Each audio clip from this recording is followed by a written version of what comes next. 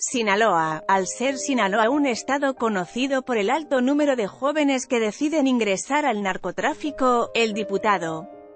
Pedro Carrizales Becerra, mejor conocido como El Millis, afirmó busca que se percaten que no es la manera correcta de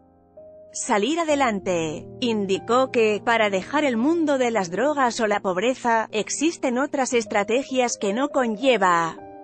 irse por el camino fácil, motivo por el que visita diferentes estados para contar su historia de vida, de cómo fue en las calles, en el activismo y que su ingreso a la política sea una motivación. Poner mi granito de arena, no podemos quedarnos sentados a escribir versos, queremos hacer todo lo que esté a nuestro alcance para generar agentes de cambio. Pedro Carrizales Becerra además, por los estigmas que existe en la sociedad, comentó que quiere que los ciudadanos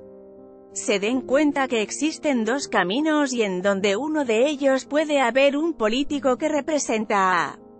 su comunidad y ofrezca una reinserción real, el Millis señaló que en administraciones pasadas no existía un acercamiento en el que se tomara en cuenta la opinión de los jóvenes para que las colonias tuvieran una identidad si no se creaban programas